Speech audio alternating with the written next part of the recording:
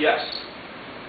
And uh, here's how I intend to do that, if I can uh, convince enough of my colleagues in Congress to move in that direction. And it shouldn't be too hard. In the first three or four years, this bill is going to be largely, uh, this program is going to be standing up. They're going to be hiring those 16,000 IRS agents we talked about that are so important to our health care. They're going to be putting together 100 new agencies, uh, a bureaucracy capable of handling a trillion dollars. They're going to be building it up. Well, that takes funds. It takes a lot of money to, uh, to set something like that up. And if we can get control of the House Representatives, and when I say we, I mean fiscally minded Republicans and independents and even Democrats, we can stop the funding of the bill. At the same time, of course, we're putting forward our positive solutions for health care reform. Because we always have to have positive alternatives that we're serious, serious about and sincere about making into law.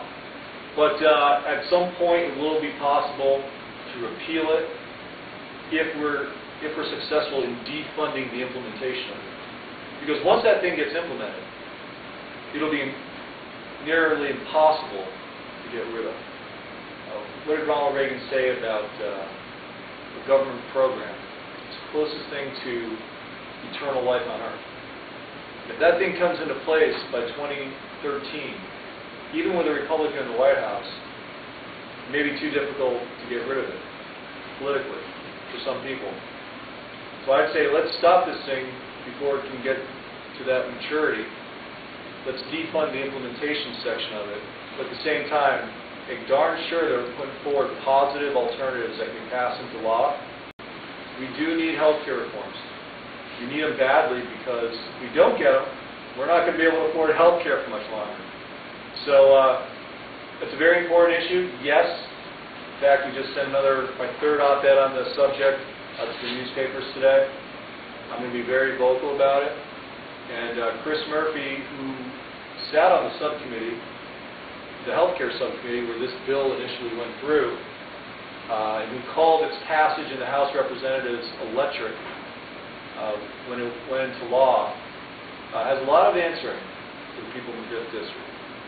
He's got, he's got a lot of explaining to do, and we're going to hold him accountable.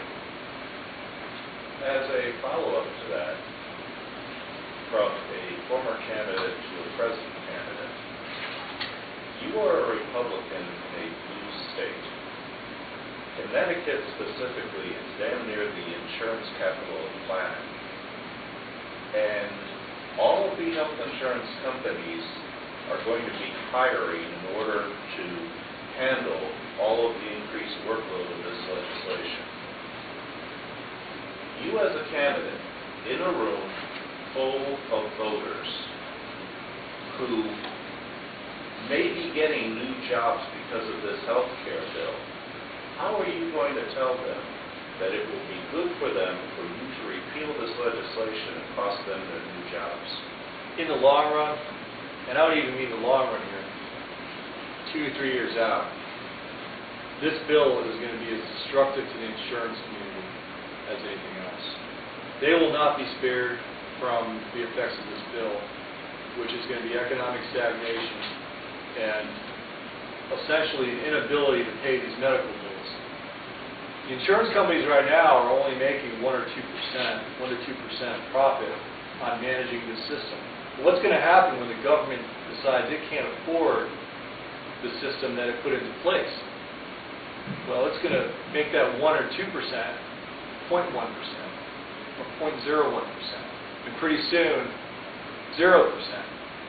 So if, if the insurance community wants to remain a part of the free market, uh, it's going to have to, I think, at some stage make a decision that this bill is bad, not just for the nation, for consumers, and for doctors and medical professionals, but for itself.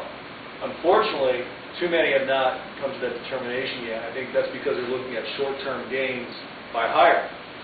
But make no mistake that you can't have a government-run system, government-run healthcare system, with a private implementation program of this size and have it work uh, in any, any type of uh, sane and profitable way.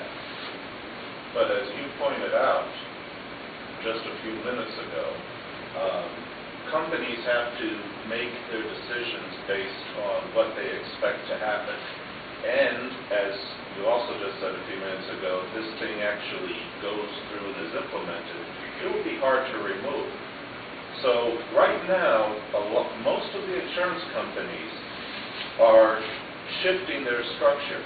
They don't need sales and marketing anymore because everybody has to have insurance now.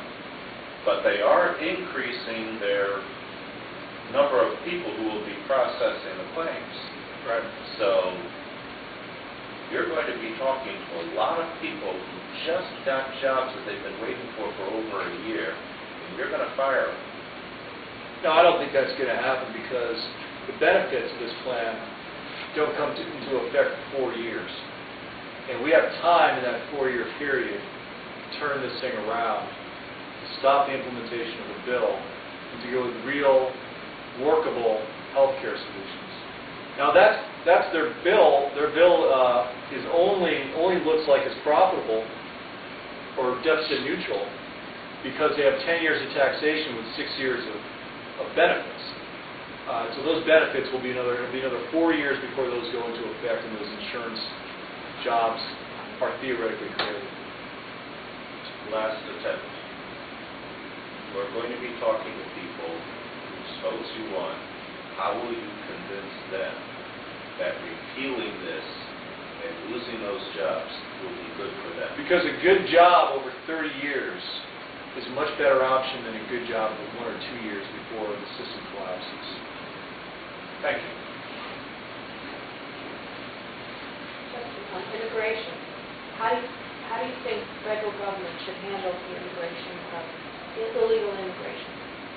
We already have the laws we need on the books. Uh, We need to execute them, and we need to follow through on the letter of the law.